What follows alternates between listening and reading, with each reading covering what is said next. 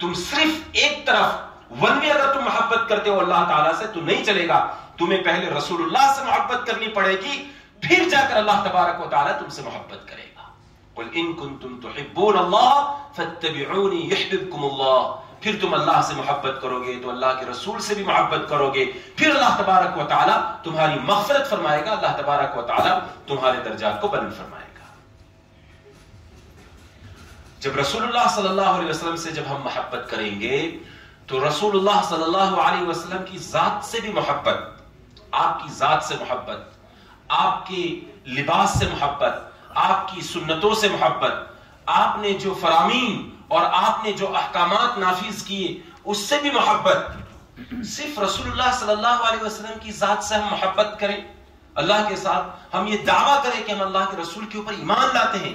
हमारे दिलों के अंदर अल्लाह के रसूल की मोहब्बत भी है, लेकिन रसूलुल्लाह सल्लल्लाहु अलैहि वसल्लम ने जिन चीज़ों को ज़िंदगी के अंदर इख्तियार किया है, आपकी पसंदीदा चीज़ों को, उनको मोहब्बत की निगाहों से देखना, उनसे मोहब्बत करना, ये रसूलुल्लाह सल्लल्लाहु अलैहि वसल्लम से मोहब्बत का तकाजा है।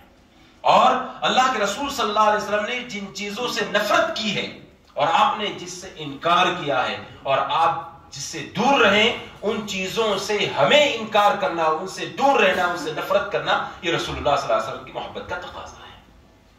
सिर्फ़ हम कलिमे तय्यबा की बुनियाद पर ला मोहम्मद रसूलुल्लाह की बुनियाद के ऊपर हम ये कहें कि हम आशिक रसूल हैं और हमारे दिल के अंदर अल्लाह के रसूल वसल्लम का इश्क है, वो हमारा सिर्फ़ दावा होता है, लेकिन उसकी दलील नहीं है। कोई इंसान जब कोई दावा करता है तो दावे के साथ दलील की भी ज़रूरत होती है।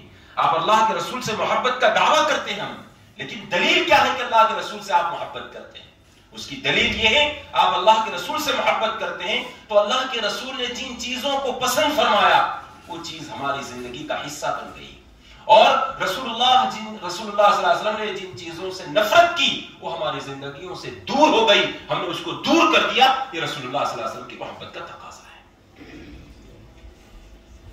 हम मोहब्बत का दावा करें, लेकिन अल्लाह के रसूल जिन चीज़ों से नाराज़ थे, अल्लाह के रसूल वसल्लम ने जिन चीज़ों से नफरत की, वही हमारी ज़िंदगी के अंदर है। और हम ये कहते हैं कि अल्लाह के रसूल से मोहब्बत करते हैं।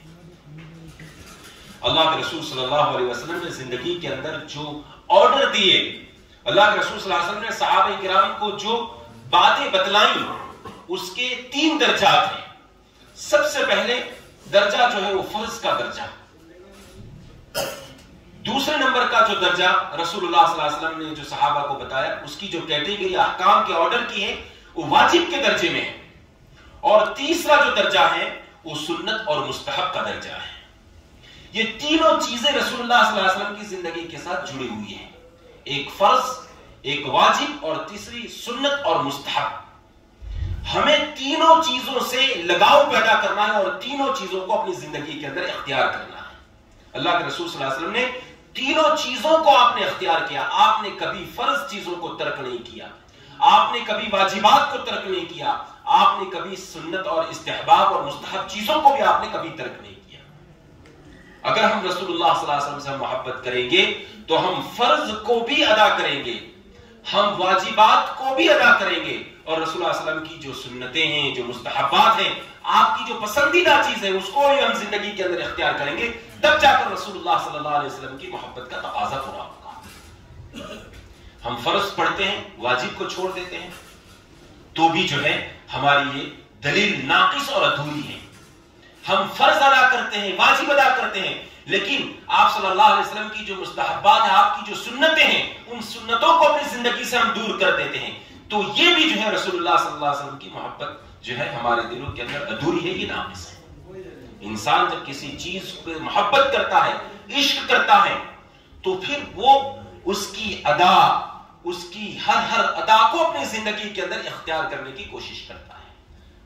अल्लाह के रसूल सल्लल्लाहु अलैहि वसल्लम किस तरह से खाते थे, अल्लाह के रसूल सल्लल्लाहु अलैहि वसल्लम किस तरह से आराम फरमाते थे, अल्लाह के रसूल सल्लल्लाहु अलैहि वसल्लम किस तरह से गुफ्तगु फरमाते थे, रसूलुल्लाह सल्लल्लाहु अलैहि वसल्लम किस तरह से अपने दोस्त और अपने अहबाब और सहाब कराम के साथ ज़िंदगी गुजारते थे।